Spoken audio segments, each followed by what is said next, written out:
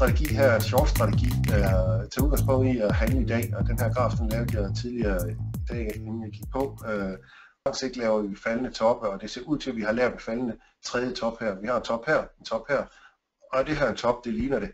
Øh, så jeg vil prøve at, at, at gå short i den her. Det ser også ud til, at der kan være optræk til en lille top her til, til allersidst igen.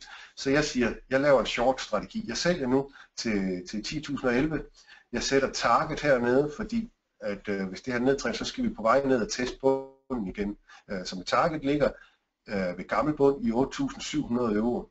Så sætter jeg mit købstop op ved den her, ved, ved den her gamle top heroppe. Jeg jagter en gevinst på 1311 euro, øh, samtidig med, at jeg løber en risiko på 500 euro. Det vil sige, at jeg går efter mere end det dobbelt af, hvad jeg risikerer. Så den her strategi vil ud fra et risk-reward øh, øh, synspunkt faktisk være en OK case øh, at, at gå short på.